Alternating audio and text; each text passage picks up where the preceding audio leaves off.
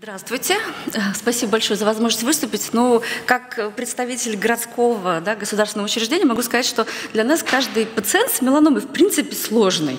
Да? То есть вот трудный пациент, вот, ну, практически любого можно взять и так сказать. А, как мы вообще выбираем? Да? Допустим, у нас есть какие-то программы, клинические исследования. Плохо слышно, да? Э, как мы выбираем? У нас есть клинические рекомендации. Что такое клинические рекомендации? Да, это то, что составлено по данным международных клинических исследований. Что такое международное клиническое исследование? Это то, куда отобрали идеальных пациентов с небольшой распространенностью, не таких агрессивных, с минимальным количеством э, негативных прогностических факторов, чаще всего, да, конечно. А как нам приблизиться от идеального пациента к реальному пациенту? Есть программы расширенного доступа, когда мы можем попробовать да, и что-то посмотреть. Э, согласно вот таким факторам, да, мы пытаемся при, прийти к реальным. Вот, например, есть одно из данных э, программы расширенного доступа в США, и они точно так же да, включали пациентов уже и с повышенным уровнем ЛДГ, и с метастазами в головной мозг. И, конечно же, они точно так же делают выводы, что, э, ну вот, например, для лечения пембролизумабом, само собой, оно менее эффективно у тяжело предлеченных больных. Вот. Хотя, наверное, на самом деле для тех, кто занимается меланомой, может быть известен какой-то случай, да, когда вот пациент и с висцеральными метастазами, метастазами в голову, да, 39-й президент Соединенных Штатов Америки, он имел, э, ну, на данный момент еще имеет, да, эффективность от назначения, ну, в данной ситуации пембролизумаба. Наш пациент, да, э, ну, молодой мужчина, 66 -го года рождения, анамнез у него, родинка, существовала с 2011 года, а, когда он отмечал, что на фоне инсоляции, это были солнечные ожоги, зуд в области родинки, а, не обращался, но периодически обгорал, и у него дискомфорт, в общем-то, был. Обращал внимание, но никаких изменений не было к 2013 году, когда появился вертикальный рост, изменился цвет до черного, и тогда уже пациент решил обратиться за обследованием, где поставлен Выполнена вторая Б-стадия э, иссечения в июле 2013 года. А, в дальнейшем пациент наблюдался, и ну, не больше, чем через полгода пациент э, возвращается к нам с прогрессированием в подмышечные лимфоузлы, обнаружил при самообследовании, самостоятельно пропальпировал, выполнена лимфодиссекция, Э, определен статус БРАВ, э, адъювантная иммунотерапия интерфероном, и пациент на фоне адъювантной иммунотерапии прогрессирует, что тоже, в общем-то, ну, уже неблагоприятно вроде как характеризует пациента. Да? Что мы могли да, для нашего пациента подобрать? Мы даем ему химиотерапию докарбазином. Да, два цикла прогрессирования. Мы даем ему докарбазин, цисплатин, кармустин, два цикла прогрессирования. Мы даем ему поклитоксал с карбоплатином. Ну что, мы, ну, сложно отказать пациенту и КОК 01, а, препараты есть, ну вот что есть, скажем так, да, прогрессирование. А, на тот момент, это уже четвертая линия терапии, а, пациент э, согласился на участие в программе расширенного доступа по лечению пельмумабом. Да, у нас есть собственный очень хороший опыт, действительно. Э, четыре введения, у меня вообще схема просто, по-моему, просто уникальная. Да, конечно, один к пяти э, шанс получить эффект, но четыре введения, да, и возможность прожить и 3, и 5, и 10 лет, это очень здорово. Но на, он получает э, мало того, что осложнения, и причем это были длительный зуд, сыпь, причем настолько длительно, что нам э, пришлось подключить и кортикостероиды, потому что на антигистаминах это в принципе не проходило.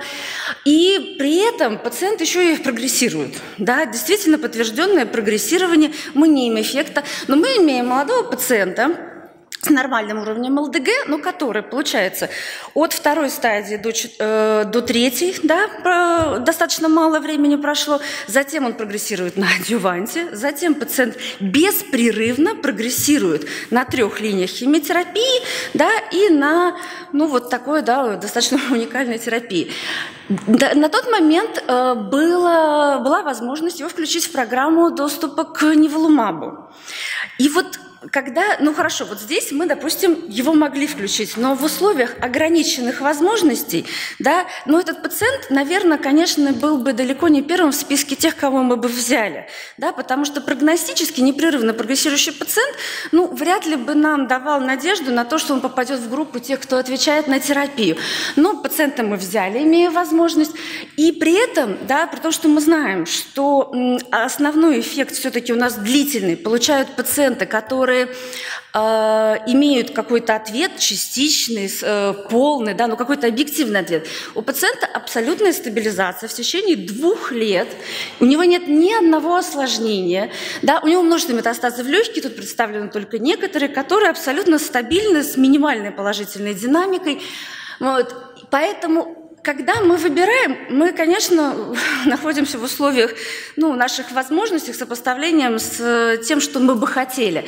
Вот в данном пациенте мало того, что мы решились и вот пациенту да, такой шанс дали, и мы рады, и он рад.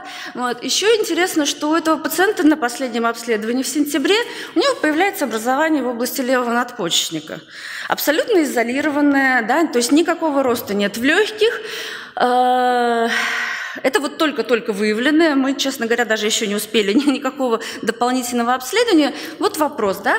КТ-специалисты описывают абсолютно классическое. Они говорят, что они не сомневаются, что это метастаз. Да, вот что нам делать? Вопрос к залу.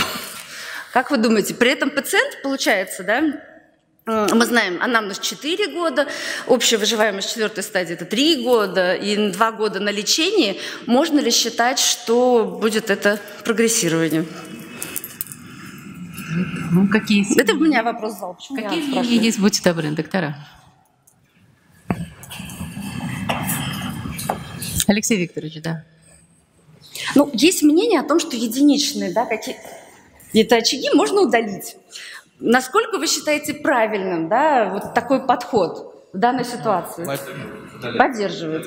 Ну вот, мы, честно говоря, тоже пока в эту сторону в принципе, двигаемся. Да, но плюс у нас будет дополнительная информация при этом, но э, я так понимаю, что он неуклонно прогрессирует, этот очаг. Погромче, Алексей Викторович. Этот очаг неуклонно прогрессирует, я имею в виду, да? Нет, его не было, извините. Он только появился. Это я... Если он только появился, то надо спокойно оценить, э, что с ним будет дальше, потому что у нас такая же история была в надпочечнике, там и кровоизлияние может быть, э, есть... которое потом, э, потом исчезнет, и исчезнет. прогрессирование закончится. Если у пациента будет сохраняться в течение и, и расти это образование, при этом если будет стабильно. Будет, если оно будет расти, то его можно удалить. Удалить вот на фоне множественного поражения. Ну вот я вот.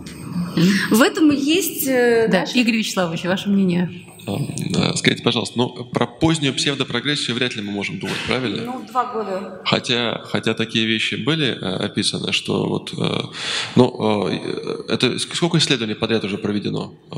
Сколько исслед... КТ подряд проведено, что это первое, первое обнаружение очага да, этого? это первое. Ну, я бы, может быть, сделал месяца через три, если есть как бы ухудшение, то, может быть, удалить его, угу. потому что опций других лечений у него нет. Правильно я понимаю? Ну, да. Согласна. Единственное э, образование, которое появляется, которое подтверждается его наличие, конечно, если его можно удалить, то идти на удаление, а не назначать терапию, когда мы не знаем, что мы лечим. Согласна, Но надо да? подтвердить, да, что это да. все-таки метастаз. да? Другого мнения у нас нет? Да? Мнения. Ну а тут, а да, Анна Игоревна что хочет? Терапию не проводится, да. да? Два года. А не планируете его завершить? Два года, наверное, достаточно много. У нас есть возможность продолжить. Поэтому, да, Просто потому что ну, есть такая возможность, конечно же. Да, да меня, мы планируем продолжить. Да, у меня тогда вопрос к нашим экспертам. Скажите, пожалуйста, как долго нужно лечить больных э, иммуноонкологическими препаратами? Этот вопрос достаточно широко сейчас дискутируется. Ну, Алексей Викторович, скажете? Э, надо сказать, что в большинстве исследований, которые мы вот, на которые мы ссылаемся, лечение длилось два года. Потом пациенты с лечения сходили. На сегодняшний день, э, скажем так, нет убедительных доказательств, что э, нам надо лечить дольше. Потому что те пациенты, которые сошли с лечения, они чувствуют себя вполне хорошо. Возможно, мы можем лечить короче, и многие, во многих протоколах было внесено э, дополнение, изменение, что если у пациента, э, если пациент э, с меланомой конкретно э, э, достигнут полный регресс, и человек лечился 6 месяцев и, и более, тогда можно останавливать лечение, и, вероятно, это не повлияет на дальнейший исход. Однако вот на последнем ЖЭСМО было рассказано, э, было сообщение о лечении пациентов неволюмабом в, при раке легкого, где принудительно прерывали лечение через год и э, рандомизировали пациентов на прерывание лечения или продолжение лечения. Э, при, э, при этом э, те пациенты, которые продолжали лечение, у них было лучше показатель общей выживаемости. Поэтому тут вопрос сложный, и либо это отличается, либо это не отличается при разных заболеваниях. Какие факторы на это влияют, мы пока не можем сказать. Э, да, скорее всего, наверное, нам надо немножко дольше лечить пациентов, у которых стабилизация и которым надо более длительное лечение, чем те, у кого частичный регресс, тем более полный регресс. Но э, вот, э, в принципе, все вот результаты, на которые мы ссылаемся, это действительно два года лечения, поэтому, по крайней мере, на этой отечке явно можно останавливаться. Да. Ну, программы широкого доступа, они подразумевают двухлетнее лечение пациентов на сегодняшний день, да, и при э, полном complete response 6 э, месяцев еще на сегодняшний день. Но это, это не, а, не, не вошло в стандарт, но во всяком случае эти цифры уже звучат на всех э, конгрессах, и мы их стараемся придерживать. Так вот, опять же вопрос по поводу этого конкретного пациента. Мы ему прекращаем лечение волумабом или нет? У него прошло уже два года прошло или не прошло? Вот ровно два. Ровно два. Ровно, ровно два. да. Ну, значит, мы выясняем, что с этим образованием и принимаем решение о дальнейшем, да? Но, но да, но все-таки с учетом того, что это же не полный, не частичный ответ, да, все-таки, может быть, продолжить ему после операции, при, ну, учитывая наличие возможности. Я, я думаю, что я уже результатом... Микрофон забрал. В любом случае иммунотерапия здесь сыграла позитивную роль однозначно. Да? Стабилизация, длительная стабилизация достигнута при хорошем, э, при удовлетворительном общем состоянии. Угу. Отсутствие жалоб, отсутствие какой-либо токсичности. Да? Вот это солитарное образование, э, с ним, конечно, нужно определиться, что это за образование, дифференцировать его дальнейшее. А, ну, а потом принятие решения, что делать с пациентом, это уже нужно будет потом Спасибо обсудить. Да. Вот, коллеги, я хотел бы все-таки еще обратить внимание на третий ряд Э, где э, э, самый большой очаг в легком есть, вот мне лично кажется, что он увеличивается в размерах.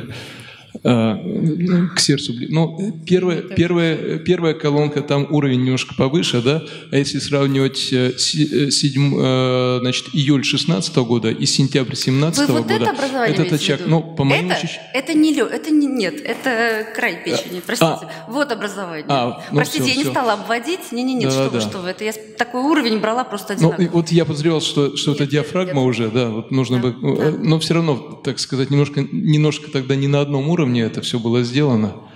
А, то есть э, а, августовский а, снимок чуть повыше. Угу. Вот это меня немножко дезориентировало. Угу. Нет, примерно так. Меряют э, КТ-специалисты примерно. А я хочу еще обратиться к нашим э, докторам, нашим экспертам по поводу циторедуктивных операций при меланоме. Да. Игорь Вячеславович, что вы скажете? Э, мы, мы, мы вернулись из Пятигорска сейчас, э, где выступал наш э, значит, коллега из Питера, доктор Егоренков, делал доклад по поводу опыта с применением... Я ему не, не имею в виду, я имею в виду в целом. В целом, да. да. Я просто хочу сказать, что, конечно, редукция может приносить определенную пользу для пациентов. Если вы можете оставить пациента без признаков болезни, то это, наверное, всегда будет лучше, чем если он будет с признаком заболевания. Вопрос, какой ценой? Потому что если речь идет про э, калечащие операции, то, наверное, это не имеет, наверное, большого смысла.